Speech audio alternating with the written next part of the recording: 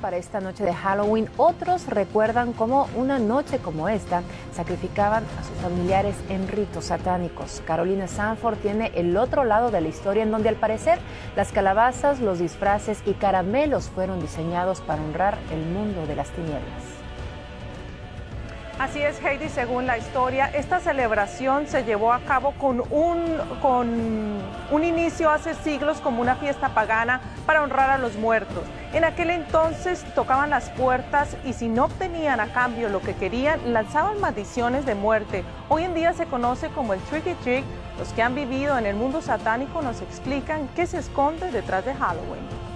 Soy la muerte. Y en su papel de muerte nos cuenta cuál será su misión esta noche. Voy a ver cuántos me puedo llevar por ahí. Es diversión, meramente diversión. Mientras muchos se disfrazan por simple diversión o tradición, existen otros que aseguran que detrás de Halloween se esconden cosas inimaginables que la mayoría desconocen. Pero esta ex sacerdotisa satánica nos habla cómo funciona el mundo de las tinieblas. Ella lo vivió en carne propia. Llegué a formar eh, parte de la iglesia satánica de Antoine Lavie en San Francisco, California.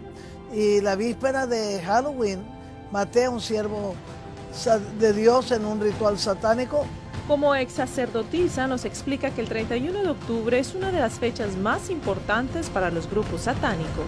Es una de las fiestas más grandes dedicadas a Satanás. En donde indescriptibles sacrificios humanos se llevan a cabo. Busca niños busca jóvenes doncellas.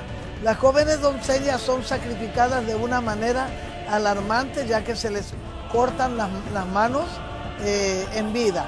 Se les cortan las manos en, viva, en vida y después son abusadas sexualmente. Michelle recuerda cómo tenía que prepararse en ese entonces para que precisamente en la noche de brujas el maligno tomara más poder. La iglesia satánica está en ayuno y oración para destruir a todas esas personas que están celebrando esta fiesta. Mi pueblo perece por falta de conocimiento. Un versículo bíblico dice Arenas que explica claramente por qué muchos inocentes, como ella les llama, todos aquellos que celebran Halloween por simple diversión, maldicen sus vidas precisamente porque desconocen el otro lado de Halloween, un mundo del que ella salió hace 28 años después de sacrificar a su propio esposo. Conocí a Cristo Jesús en la prisión su misericordia fue tan grande, fue tan infinita, que a los 20 meses salí libre. Desde entonces se dedica a predicar la palabra de Dios y a testificar que el mundo de las tinieblas no es un juego. Halloween no es una fiesta de niños. Halloween no es para reírse. Halloween es una fiesta satánica, donde hay muertes, donde hay sacrificios. Algo que lo pone